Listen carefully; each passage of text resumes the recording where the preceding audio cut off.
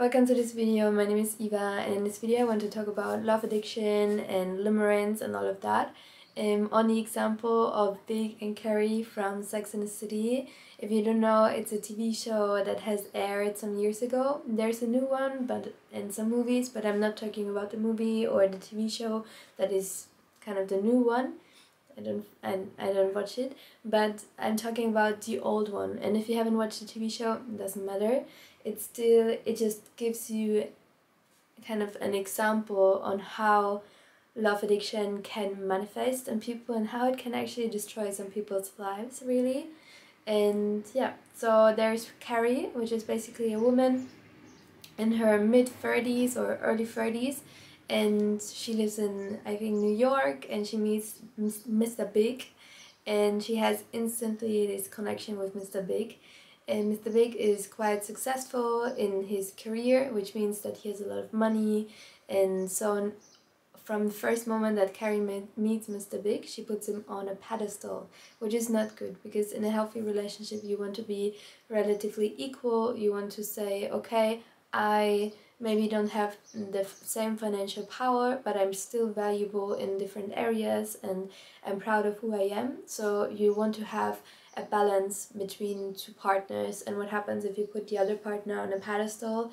Um, it can be quite negative. It can it can affect the relationship quite negatively in a way that um, you uh, for example if you feel like you're above someone uh, and the other person is beneath you it can maybe lead to you not treating the other person correctly um, and you just doing what you want. And even also on the other side if you put your partner on a pedestal and you put yourself beneath your partner it can really lead to you accepting so much nonsense from the other person and not leaving and um, just feeling miserable because you're not really um, yeah getting the love that you deserve but you still stick with it because you think oh the other person is better than me so I should stay with this person.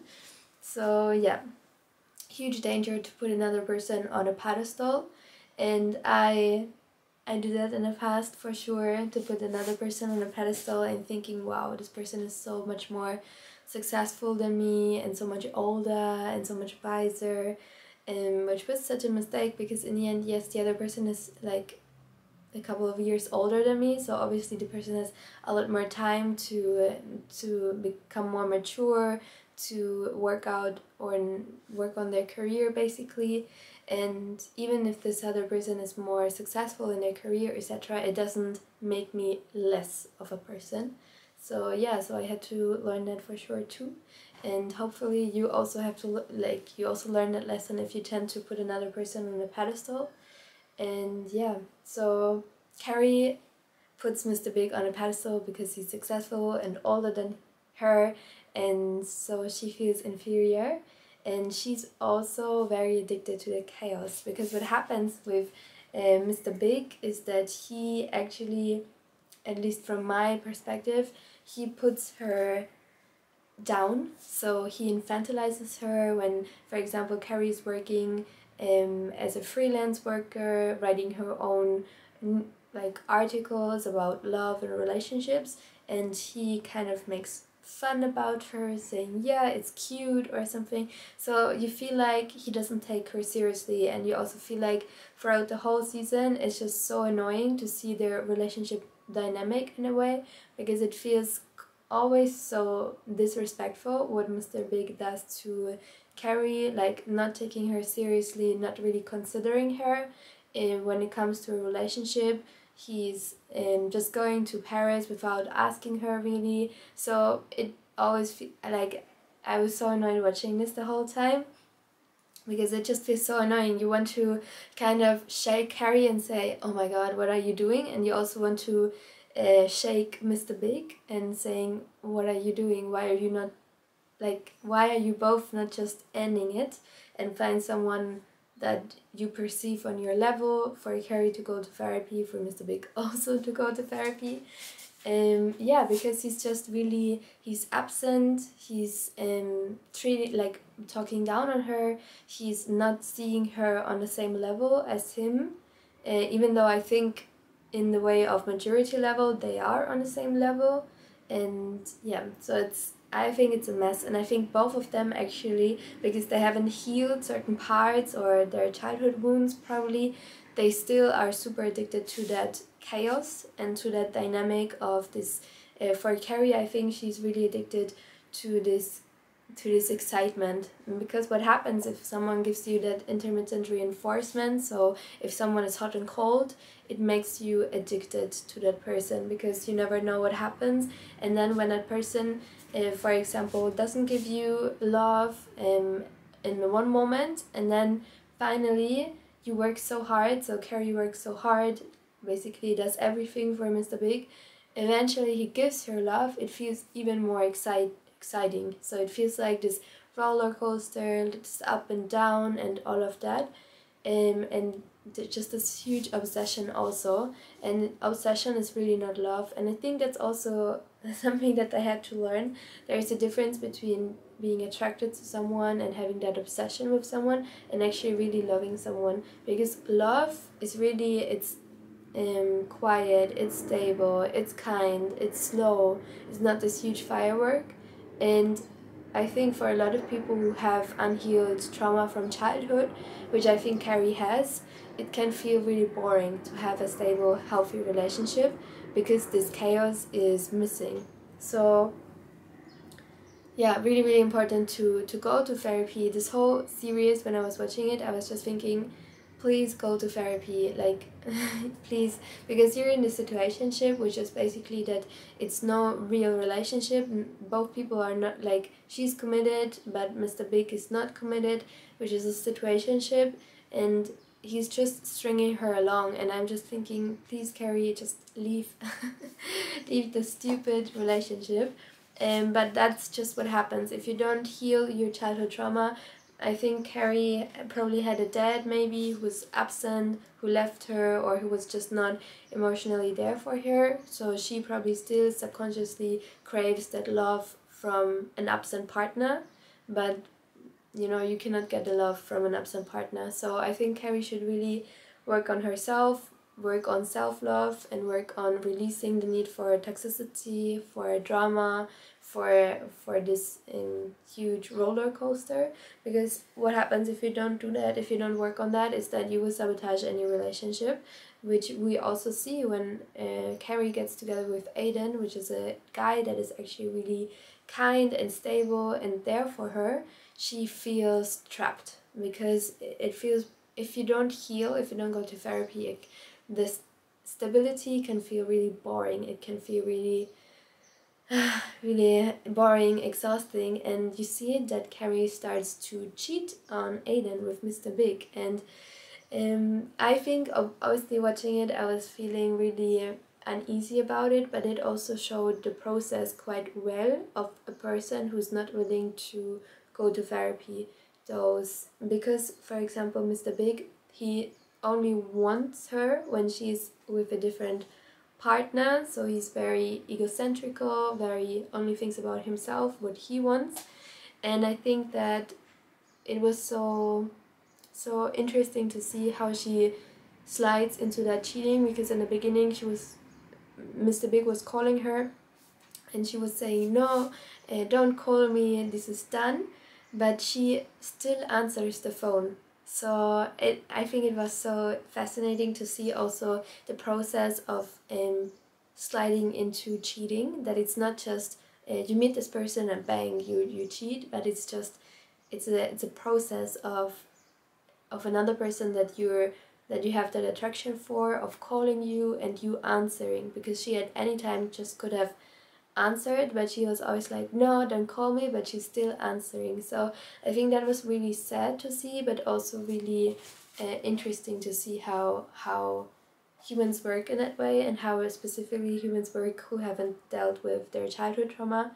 Um so yeah that was really interesting to to see and it really showed me how, why like the importance of learning how to be okay with yourself, how to heal your childhood trauma. Because I think then in, in the later seasons and in the movies, the writers changed the script a bit to make Mr. Big a better person and they changed Mr. Big, but in real life, people don't change so you cannot expect someone who is doesn't see you as an equal to from one moment to the next see you as an equal and turn into this uh, great person so yeah i think really important do therapy if you if you have the feeling that you put other people on a pedestal especially your partner. If you have the feeling that you crave this chaos.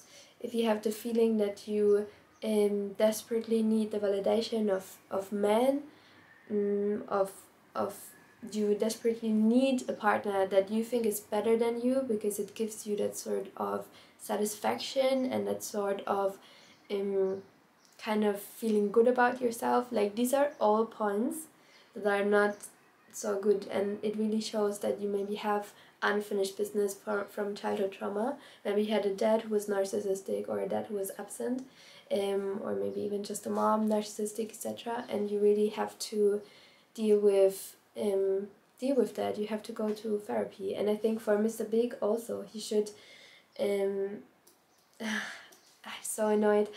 I'm so annoyed at this because like this dynamic has um, happened happened to me kind of. I mean i never cheated but this whole dynamic of putting another person on a pedestal and feeling so wow because the other person likes you and oh my god. It's uh i hate it to look to look back on it. Um but yeah you can really see that there's a um, power dynamic in a relationship um, and it's really not not not positive. And so yeah, if you watch this video, maybe you have watched Sex and the City or you just um you just feel like you're in a relationship that is not satisfying for you because you feel like you're running after someone who's not invested in you please take a moment take a step back and you know start reading therapy books and start to heal whatever wound you have because you yeah you deserve to um be with someone who's invested in you and also once you are with someone who's invested in you you deserve to actually to to feel good about it. Because i read a quote that i find is so interesting which is um healing from childhood trauma or from trauma is learning to feel good and okay with the peace. Because when you grow up in certain childhood trauma maybe your dad or mom was narcissistic um, you grew up in, in a lot of chaos and you grew up basically with this dynamic of putting another person on a pedestal in for example with, with a narcissistic parent to put your narcissistic parent on a pedestal and you cater all your needs to that narcissistic person. And so you grew up in this in this dynamic and in this chaos and it's just what you take with you to adulthood. So you really have to when healing you have to be you have to learn how to be comfortable with with just things being stable and with things being committed and it takes a lot of time to uh, to learn that but it's so important to learn that because life is not a movie it's not a okay then in the movie everything is great and Mr. Big turns into this great person. The reality of the situation is that Mr. Big will not change. Your Mr. Big will not change. If someone is not really interested in you, is, is playing with you, he will not change from one day to the next so yeah the best thing is just for you to if you're dealing with that to heal your childhood trauma so that you can slowly um, be okay with things being stable and in some ways boring. So yeah so that was that. Go to therapy. If you deal with someone who is like mr big like re really charming really really uh, exciting. All of that excitement and attraction does not equal a healthy relationship and you have to make a decision in the end. What do you want? Do you want excitement and attraction and um, putting someone on a pedestal or do you actually want a healthy relationship? And um, but you cannot have both. So yeah that was the video for today. What do you think about this couple? What do you think about this dynamic in general in relationships what is your opinion? Have you ever put another person once on a pedestal and made yourself inferior to them? Have you been a doormat? Have you um, maybe happened to you that another person put you on a pedestal and you played with them? Um, yeah, have you ever experienced that dynamic? So thank you so much for watching. and I hope you have a wonderful day. If you liked the video, give it a like. If not, not. and I see you in my next videos. And yeah, if, if you want to learn more, feel free to check out the other videos and so much love.